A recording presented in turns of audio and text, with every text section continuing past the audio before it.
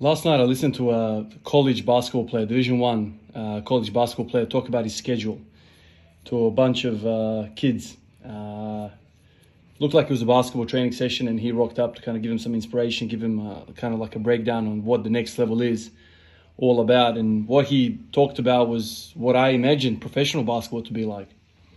He talks about how he wakes up every single day at 7 a.m.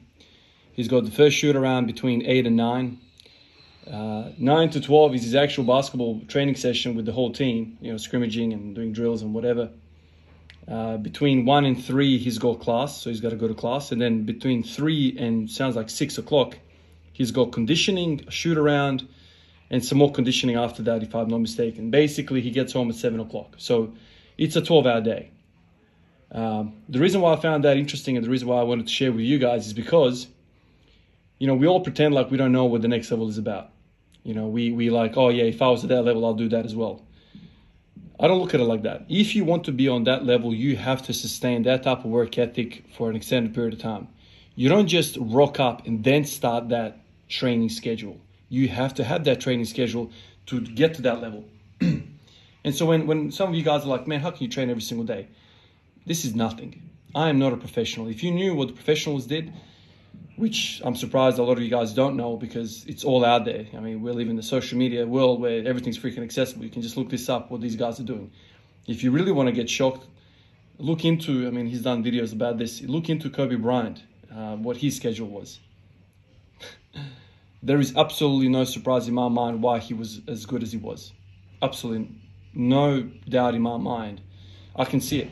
It's all about the work. And so some of you guys have nine to fives like me, you know, I go to work, I go to family, I got to eat, I got to shower, I got to do all these sorts of things. School drop off, school pick up, have time uh, with the family over the weekend. That's it's all well and good, right? There is still time for you to get after it for freaking one hour a day. Um, this is kind of how I view it. I've always kind of yearned as a, as a youngster that one day I'll be able to be a professional basketball player. I wanted to be in that schedule, like that guy was talking about. I wanted to be busy 12 hours of the day working on my craft. What's the difference between me and him? What is the difference? Why can't I do this on my own? Nobody watching me, just me getting after it, me getting that fulfillment of doing work. Why can't I do that? Oh, there's no prospect of you getting paid, so you're doing this for money? I was never like that. I never did it for money. I just wanted to be the best in basketball. That was kind of how I viewed it. I loved the process. I loved working. I loved working. And when I go to work, like in a couple of hours, I have to go to the hospital and do a shift when I go over there, like I don't feel that connection with just working that. So when I come back home and I want to work with something that I absolutely love, my passion, training, physical exertion, trying to get the body to adapt to a, to a, to, to be stronger, to all of that. I love that. I could do 12 hours of that. I don't want to do 12 hours of something that I don't love. Nursing is all right, but I don't love it. So, you know, in my mind, I'm like, why don't I do more of what I love? Why is it a chore for you to do something that you love? You don't love it, dude. Stop kidding yourself. You don't love it. You're there for the results. So you can get a 400 million kilo deadlift, so you can post it on Instagram, so you can get some chicks. Tell me that's not the case. Tell me that is not the case. Ask yourself, why are you doing this? Why are you posting your lifts on the internet? Is this so you can get, you know, as, as popular as The Rock and you can get, you know, star in movies, you can get every single chick that you want, drive a Ferrari? Is it because of that? Be honest with me, man. Be honest. Are you doing it for the results? Or are you doing it for the love of the journey and the passion and the and the emotional response that you get from working hard. I ask you, you, you don't have to tell me, you don't have to tell anyone in the comments. You can just ask yourself in your mind and have that little dialogue in your mind. Check yourself. See what you're doing things for. Are you with that girl that you're with right now because you really love her? Or she's got that fine ass and you just want to do that? You know, she's hot and it gives you a bit more cred with your friends because she's hot, you know, she's like a trophy. Ask yourself, what are you doing? What are you doing with your life? Just whatever, man. I, I don't care. You don't have to say anything to me.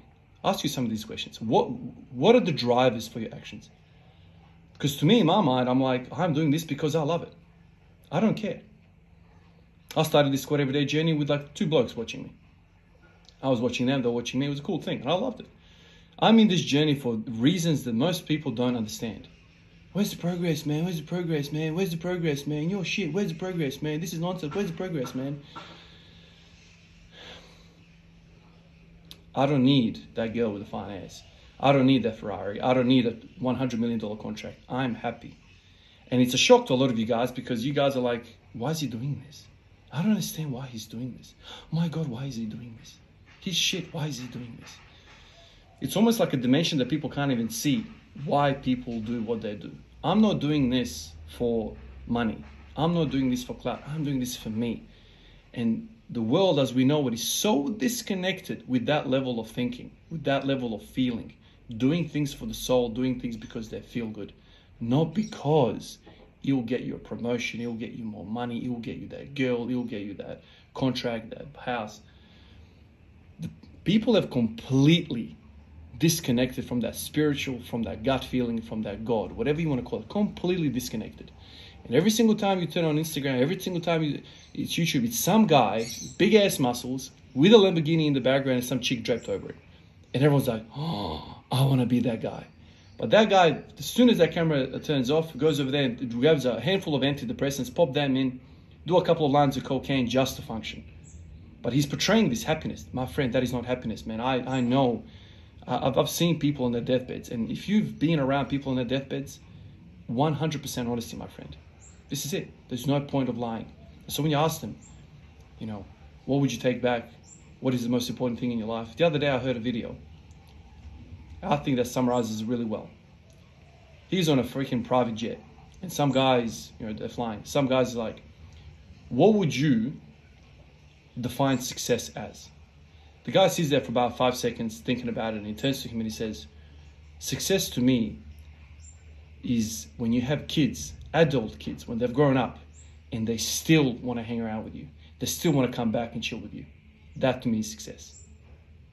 Now, I stopped the video and I, and I pondered uh, uh, uh, uh, on that for a little while. Think about what that means. Who knows you more? Who have you spent more time with? They know you on your bad days, on your good days, or every day in between. If you're a good guy, your kids will hang around with you. This dude is a billionaire. He didn't say I got this yacht. He didn't say I, I got this many women. He didn't say I've got a private jet. He didn't say I bought an island. He didn't say any of that. And guess guess what? A lot of the guys that I deal with who are in the terminal phase of their illness, who are on their deathbed, who know that they're staring at the, the, the last part of their life, no one ever brings up Ferrari or clout or how famous they were or if they were a Rhodes Scholar or if they went to Harvard or wherever the case might be. I never hear that crap, man they they usually brush past that stuff. Like, yeah, I was a successful thing, but my, my best thing is, man, my, my, my most prideful thing is my kids, man. They're doing so well. They're still around me. My kids, one kid's in South America, one kid's in South Southeast Asia, one kid's is in France. They're doing great. Oh, this one's. They all talk about their kids and their love. Think about that. Use people around you. We are not the only generation that has lived on this planet. There has been millions upon billions upon billions of people who have lived. Open your eyes, listen to people, talk to your grandparents, see what, what their summary is about life. Don't make the same shit mistakes that they've made and, they, and their parents and their parents and their parents. Learn. I'm blessed because I, this is my career. I'm rubbing my shoulders every single day with these people who are at the end of their life. Now, once I hear that money means not, it doesn't make you happy, why the, why the hell would I want to go around, spend 50 years chasing exactly what he chased, and come to the same damn conclusion that he made? Why?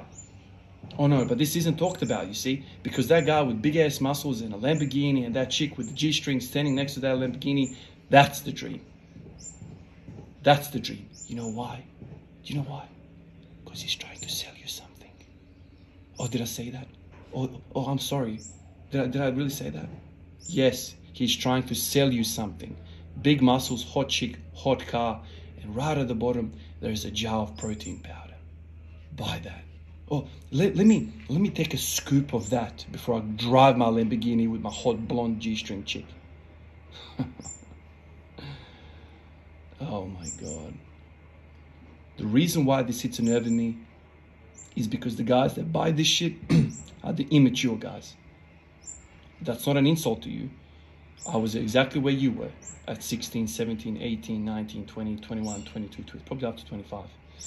And then around 25, I started thinking, this guy's talking shit.